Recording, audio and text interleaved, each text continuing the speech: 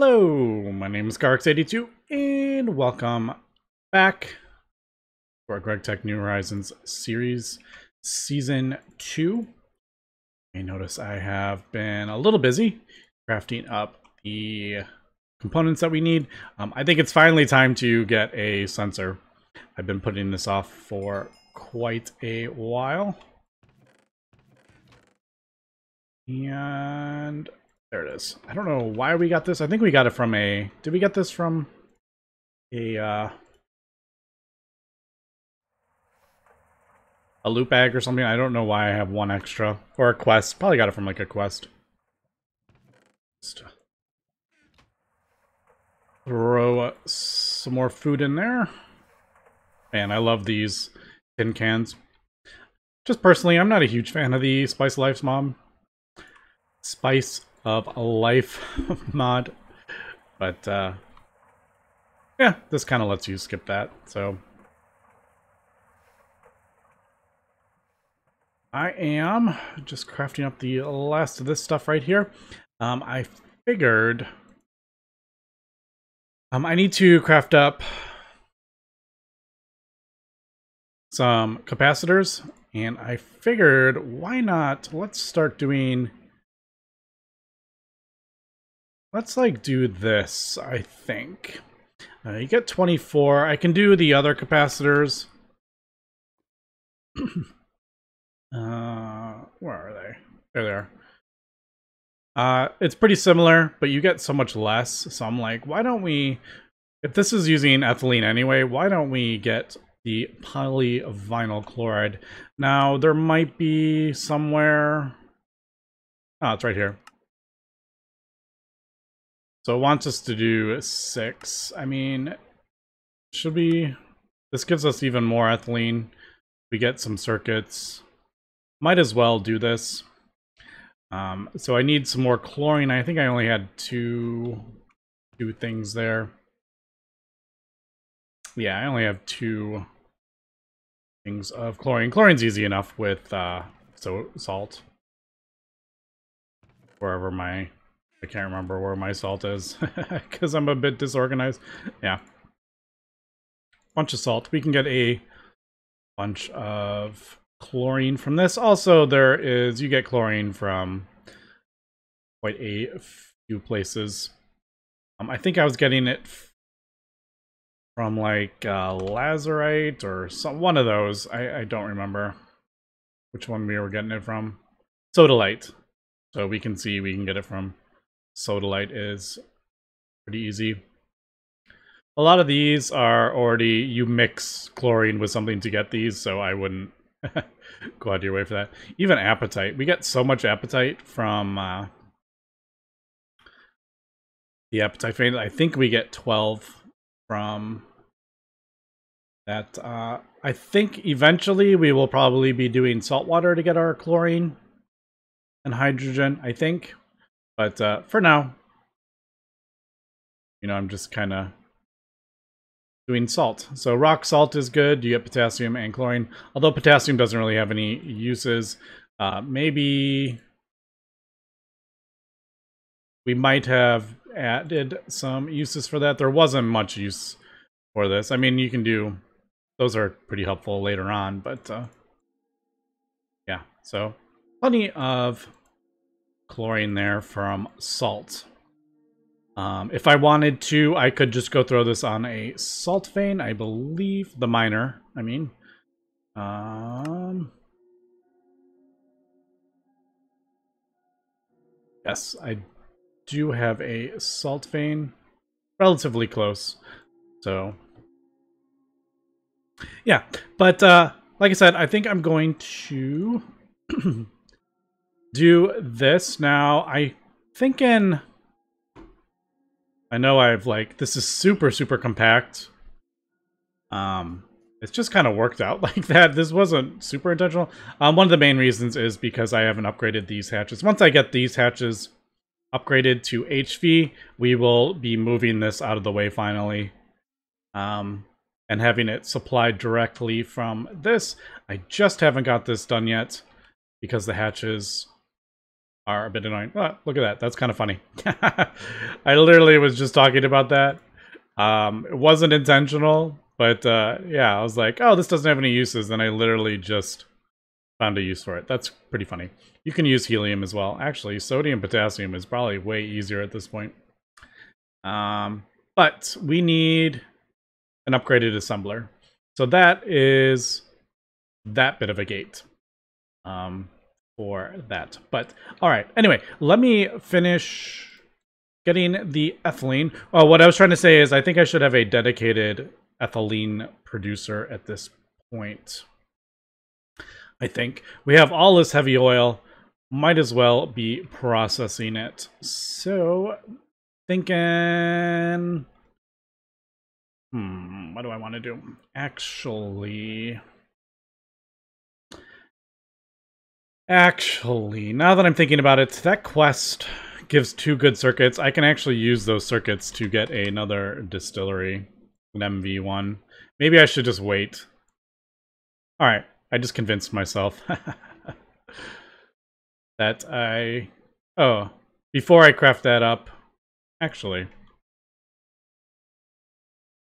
No, I just need to produce the ethylene. Let me let me get this ethylene produced and we'll be back. Okay, you may notice a, couple spiders all over the place. Uh, I just had a uh, a blood moon. What the was that flying? That looked like it was flying. Stay off my uh stay off my bob uh my tree farm. But uh oh hello. Blinding Enderman.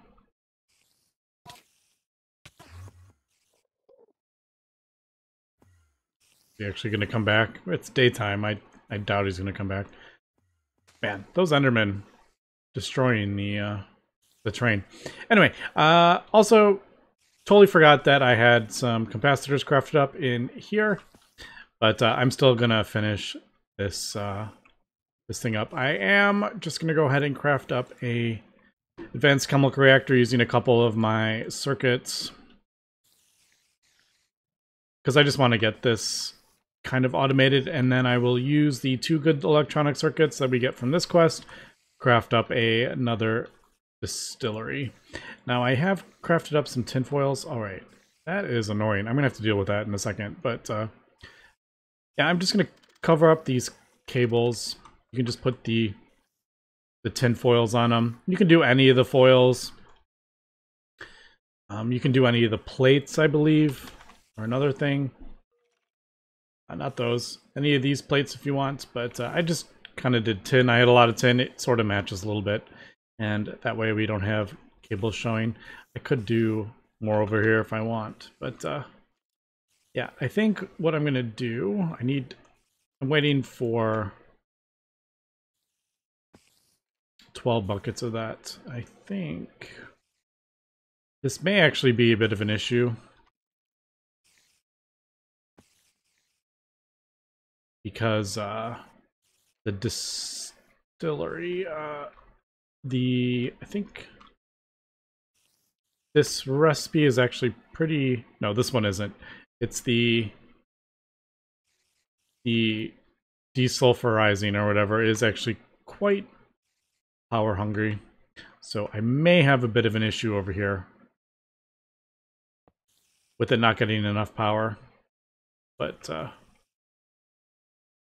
I think I'm just gonna do what I did here, pipe into a distillery and pipe into the distillery like right here.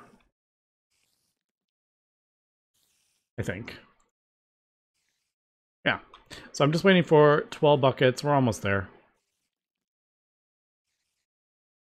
Pretty slow. Um, it's going to speed up much, much faster once we get to the distillation tower. But uh, it is what it is for now. We have a decent amount of oil. I'm not drilling anything. I just need to go throw some more fuel in there. And we'll get another thousand buckets of oil. So that is not an issue. All right, so that's that. Also, I am while I'm waiting for that, you may notice there is some electric pumps, and that is because finally going to get round to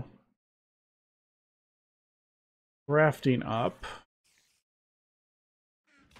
a reservoir. And this is infinite water. Uh, because if I have stuff running, um, we are draining those tanks.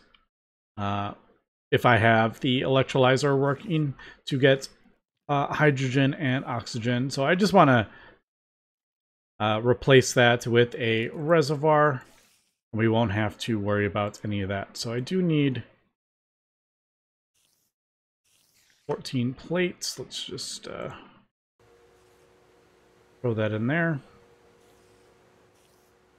And then this glass is pretty easy. Just some nether quartz glass. You can even use Certus quartz dust and glass.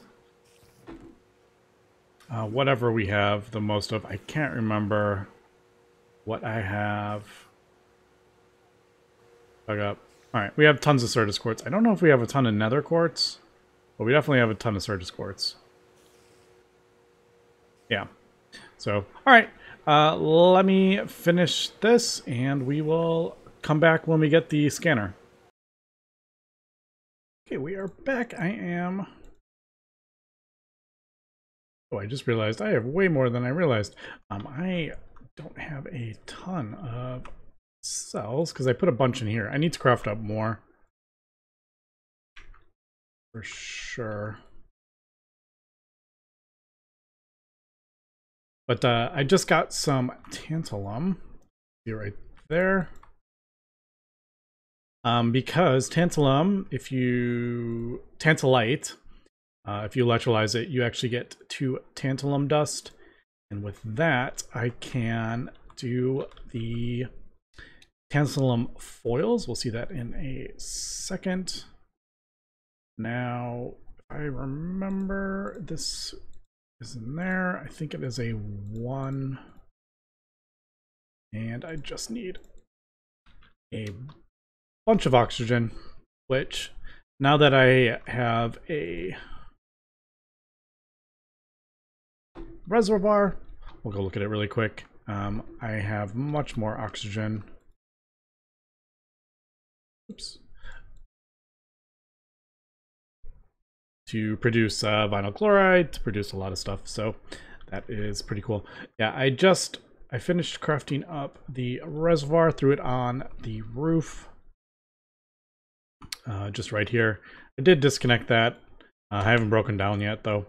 Um, but yeah, you just basically to put two buckets of water in there. You hit it with a wrench. A regular GregTech wrench works. You don't need the Ender IO wrench or anything. Um, and then it'll auto output into the water pipes. So we are good there. Also, I did notice that uh, Maybe a couple coke ovens that are completely full on creosote, so I think that means uh, we need to uh, increase the size of that boiler. Steam power is just so amazing. And I think uh, we need more steam power. But uh, alright, there we go. There is our tantalum. Now I just realized, did I get credit for that? I'm going to be really sad if I didn't get credit for that. Because I... No! I put it in too fast! No! That makes me sad. Yeah, I picked it up and put it back in too fast. It didn't register.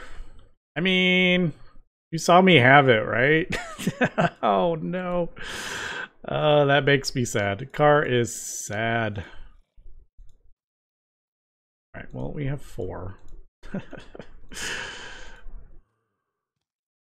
that makes me sad. All right, but uh, there we go. There is our polyvinyl chloride sheets. Which, now that I'm thinking about it, probably is that quest. I'll be right back. Okay, so I decided I'm not going to worry about the that quest. Um, but there are other quests that I have managed to complete that actually give more resources as well. So I've gone ahead and finished those, and there is this quest. Uh, so we're ready to do that one. Um, gonna do this one also. I just haven't got around to doing that. But uh, the cool thing about the polyvinyl chloride now is that if we want, we can get, uh, instead of doing polyethylene to one to one, we actually get a one to two. So just everything, just getting a little bit more uh, efficient. So the next one would be polytetrafluoroethylene. We get four, and then if we get even, this is like really end game plastic stuff. We actually get eight, which is pretty cool. Uh, but yeah, so there is that. I can actually, I need two of these, but I think we have everything at least for at least the one. Just double check, yeah. Uh, I was moving stuff around, and like I said, this still isn't. Um, I was about to say 100%. Obviously not 100%, but uh, I do need to rearrange the stuff. So the clean room is not getting turned off I am running the blast furnace. But, uh, all right, so that will be that. And then I guess let me just finish that up really quick. I also need the, uh, this thing, which is a bit annoying to craft up. I should have, yeah, let's just, we'll throw it in here. I know the other one's faster, but uh, sometimes it's kind of annoying switching out the the things all the time. But, uh, alright, let me do this really quick, and I'll finish this quest. Plastic circuit board's probably the best thing to take there as well. Um, there is the EV circuits. I don't think we're going to do that right this second. Also, is there... Yeah, the annoying thing is I have crafted that up before, but we didn't finish this quest. Yeah, Sometimes the quests are frustrating. For sure. There is this... We're going to be doing this, though. Definitely going to be doing that. Okay, there we go. And I have screwed up... No. I did screw up something. what did I... Which one did I screw up I needed to have? Ah, it's eight capacitors. Whoops. I need more capacitors. I'm going to wait for that to finish. I just don't want it to void. Yeah, some of the, all these, like, they're kind of hard to uh, keep track of, all the different recipes for the same thing. All right. Yeah. Uh, yeah, because there's there's like the one recipe, and then there's three different versions of it for tin, soldering alloy, and lead. And then it switches out all the different components. So like that capacitor, you need eight, and then that one you only need two. And man, it's uh it's hard to keep track of them all. But uh, all right, there we go. We got our two of those. Let me complete that. I'm gonna take that. That's easy to get. That's easy to get. And loot bags. Yeah, they can be alright. Sometimes we've gotten some decent things out of it, but uh, I'm not going to rely on random stuff. Alright, advanced circuits. That's pretty cool. See, there we go. We got something cool out of that. Um, did we get more of that? Also, we got an energy crystal and blaze reed. Alright, well, we got some decent stuff from that. uh, the blaze reed is pretty cool. Energy crystal is a EV... No, it's HV. It's like an HV battery, if we want. So yeah, that's cool. And then uh, steel pole.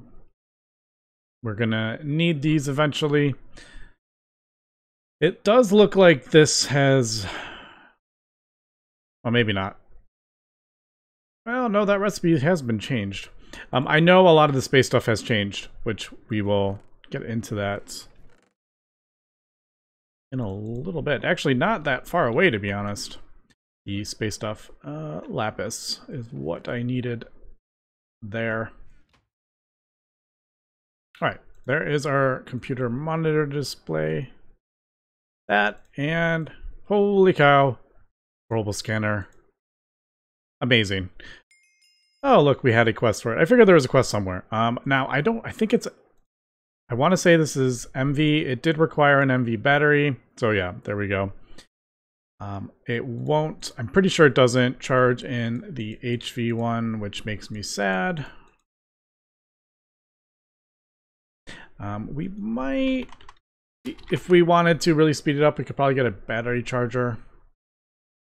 Uh, it does take way more amps but eh, it's pretty expensive. And it doesn't really matter. This charge will last us for quite a while, but basically we can use it to right click on like anything. We get tons of information. Now let's say, all right, so here is our batteries. We can like click on that. We can see how many amps we can get 6 amps, how much power is going through it. And uh, yeah, there's so much cool stuff to know.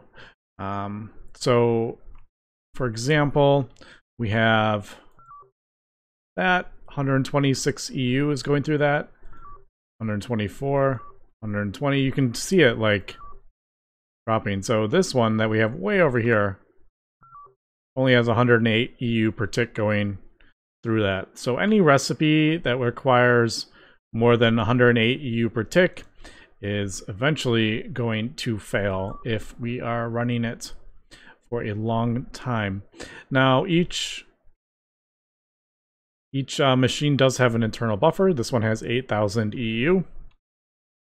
And basically what happens if you if you don't know how GregTech Power works is so this this recipe is running. So we if we click on that, we can see there's 200 2048 EU, and it even gives you progress and all sorts of stuff. So uh, this thing is super super awesome. I love this portable scanner. I wish it was actually available earlier. Uh, it's just so helpful. But uh, what this recipe is going to be doing is it's going to be is it that one? I think it's that one. Um, it's going to be pulling 30,000 EU. It's going to be using 30 EU per tick, which I believe it says on there. Yeah, probably uses, this isn't always correct, but it says it's probably using 30 EU per tick. Well, it pulls that from the internal buffer, and then whatever it can take in, it, it fills that buffer up. So that is why sometimes you throw a thing in there and it runs for a little bit and then it fails. What it's done is pulled out of the internal buffer and it wasn't getting enough to keep filling it up. Or it might be just underneath it, so it takes a while for it to uh, drop down. Um, and then uh, eventually it runs out and then it fails. So you might get a couple processes out of it. Um, and then it fails. But that's what it's doing. It's pulling from the energy buffer. Now, the same thing goes for the battery buffers. These have an internal, well, these are the stored items. Uh, I believe this is the internal buffer, I think.